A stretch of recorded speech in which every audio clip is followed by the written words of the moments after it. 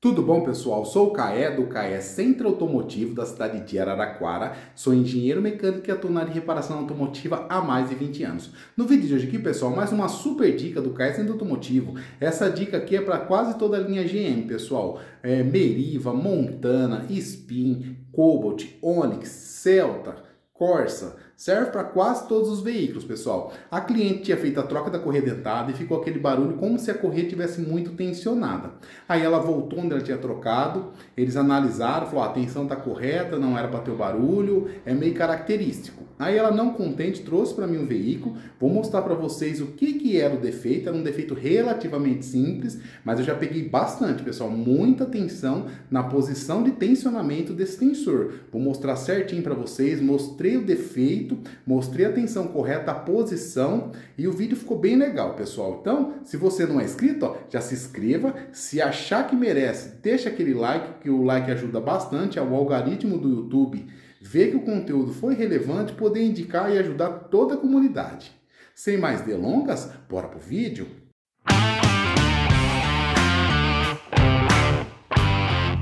Pessoal, iniciando o vídeo aqui de hoje, estou com uma Montana, pessoal, mas essa dica vai dar para a linha Chevrolet inteirinha, 1.0, 1.4 e 1.8.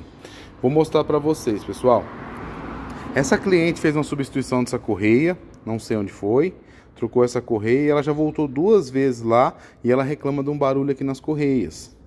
Aí a primeira vez, essa correia elástica, tá vendo? Essa correia é elástica e você tem que colocar com chave. Eu acho que colocaram sem chave, ela cortou. Aí voltou lá, ganhou garantia, só que o barulho nas correias ela achou que era ali. Continuou. Eu vou dar uma observada, pessoal, porque esse carro tem basicamente dois defeitos. Ou não respeitar a posição de trabalho da, da seta, ou muito provavelmente tensionaram para o lado errado. A linha Chevrolet, pessoal, você tem que tensionar para o lado anti-horário.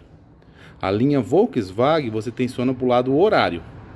Então essa é uma diferença entre esses dois aí para você gravar. Então Chevrolet anti-horário, Volkswagen horário, perfeito? Então aqui se o pessoal foi no sentido horário, o que, que ele faz? Ele estrangula o rolamento contra a bomba d'água eu vou dar uma partidinha, vamos ouvir se é isso, vou conferir, vou mostrar também essa posição. Aí voltando, ele estrangula essa correia contra a bomba d'água e ela fica cantando. E corre o risco até de partir, pessoal, não deixem. Então vai, segue essa dica aí. Vamos ver como é que tá, o que que teve de erro aqui. E vou mostrar também a posição, todo mundo tem essa dúvida, B ou A, B ou A. Outras considerações, ó, nesses veículos com sensor MAF, Reparem que eu não soltei aqui, porque senão eu ia tirar o MAF e eu não consegui funcionar o veículo. Eu tive que soltar aqui na braçadeira com cuidado e tirar só a caixa do filtro de ar para me manter esse sensor, para mim conseguir analisar esse barulho e ver se é isso mesmo. Mas eu ouvi mesmo um barulho da correia meio tipo super esticada ou aquele negócio invertido. Vamos ver aqui na prática. Ó pessoal, o barulho que a cliente reclama. E quando esquenta, pior. Olha, fica um ó.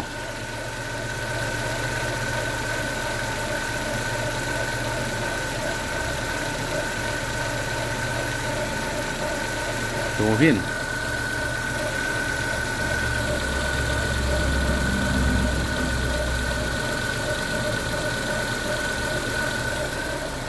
Agora eu vou parar ele, pessoal. Vou ter que ir um pouco mais a fundo. Tirar essa polia aqui, ó. Porque eu não consigo soltar só correia. Vou tirar essa polia para tirar a capa de baixo e ver o que está acontecendo. Se está super esticada ou se, como eu comentei, em vez de tensionar para o lado anti-horário, tensionaram para o lado horário. Defeito bem comum nessa linha. Isso aí no longo prazo pode até estourar correr, como já mencionado. Ó, pessoal, outra dica aí básica, mas é importante. Sempre quando você estiver trabalhando com correia assim elástica, você for reaproveitar essa correia e você já for ter que tirar a polia, não tira a correia antes, porque senão você acaba correndo o risco de cortar a correia, igual o, o mecânico dela que foi instalar a primeira vez aconteceu, acabou tendo que dar garantia da correia e sempre usar aquela ferramenta, aquela ferramenta da Volkswagen mesmo, Volkswagen já é bem comum vir essa ferramenta, mas na linha GM às vezes não vem, depende só do fabricante. Esse aqui, ó, deixa eu ver qual que é essa aqui, ó. Essa é da Gates, a Gates costuma vir com a ferramenta. Mas é basicamente aquela mesma ferramenta da Volkswagen. Dos motores EA111, tá vendo? Então tirei a correia, agora eu vou soltar a capa aqui, pessoal. Vamos ver certinho como é que tá esse rolamento aí. Pessoal, sempre antes de você remover essa correia, soltar esse tensor para ver, eu posso só inverter ele, mas na dúvida, pessoal, eu sempre coloco um parafuso assim, ó, e eu deixo o veículo no ponto. Ó, o ponto dele, pessoal, é aqui, ó. De frente pra, pra dessa flecha. Se quiser até pintar para você identificar melhor. Nesse detalhe da bomba de óleo, tá vendo? Aí eu vou deixar aqui, ó, bem certinho, ó. Perfeito. Agora eu vou só dar uma observada lá em cima se está no sincronismo. Já vou dar de novo aquela tensão lá no B e no A. E vamos finalizar esse serviço.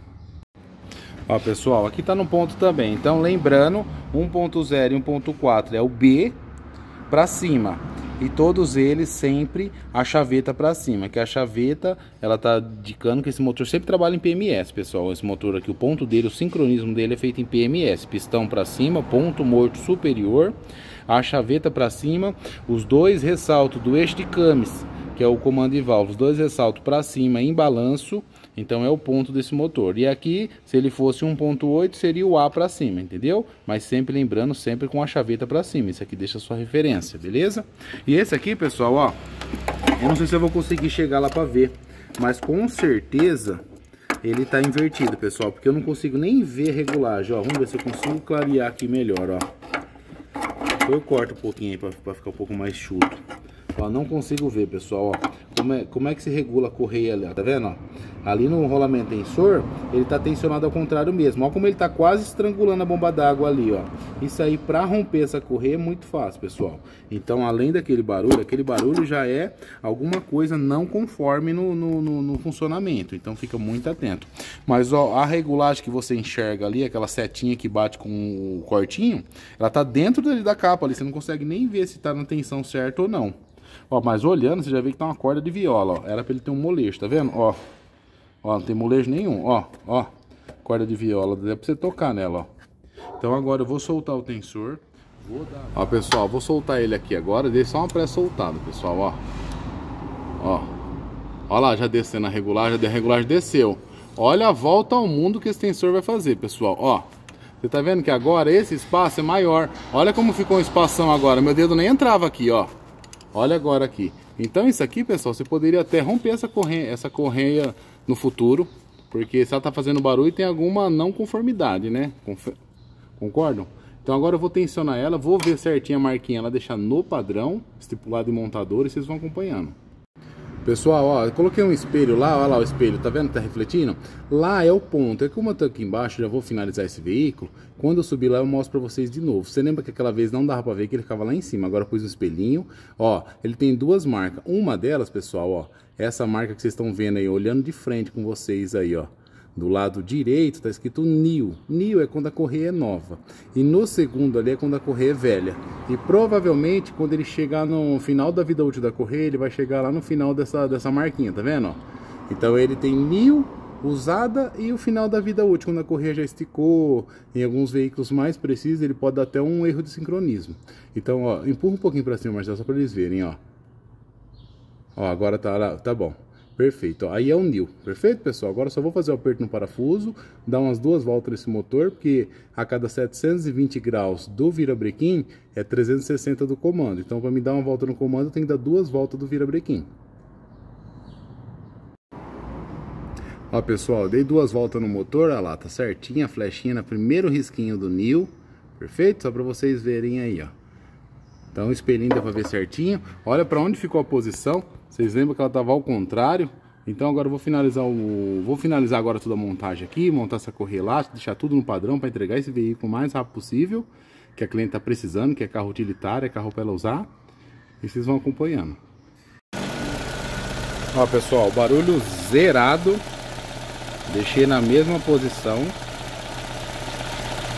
Tem um barulhinho lá do motor funcionando normal, mas ó, correia zerou. Ah, espero que vocês tenham gostado, pessoal, de mais essa super dica aí. Muita atenção. Linha Chevrolet anti-horário, linha Volkswagen horário.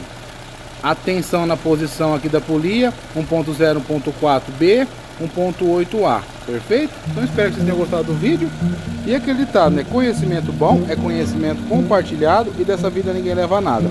Se você não é inscrito, ó, se inscreva, deixa o like, o like é muito importante. E um obrigado a todos.